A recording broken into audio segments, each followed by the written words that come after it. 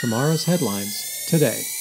Good afternoon, Klamath Basin. It's Tuesday, August 14th, 2018. I'm Kurt Liedtke with the Herald and News. Here's a preview of stories that you can find in tomorrow's edition of the Herald and News. These are tomorrow's headlines today.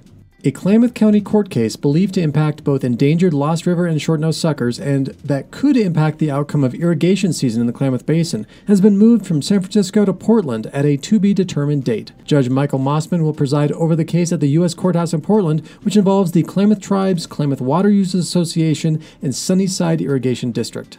On Monday, nearly 300 people showed up at the Ella Redkey Pool thanks to a reduction in air pollution, allowing the only year round outdoor public pool in the region to once again welcome guests for a full day, a rare treat this summer due to air quality. The pool continues to receive funding through the city in addition to special projects and grants funded through the help of Friends of the Ella Redkey Pool. In the past year, the group helped work toward a $25,000 grant for new lane lines, a pool vacuum, and other improvements. And Brielle George, Ella Pool's newest supervisor, wants to get more people out to the pool even after summer ends. Though summer operating hours have been a bit restricted, George hopes to find ways to get more programs going during the fall and winter months.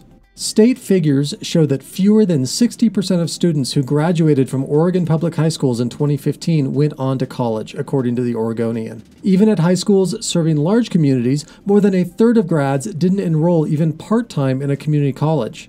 Among high schools with 300 students or more, Klamath County earned the dubious distinction of being rated lowest in the state, thanks to Mazama High School having only 22.1% of graduates being college bound.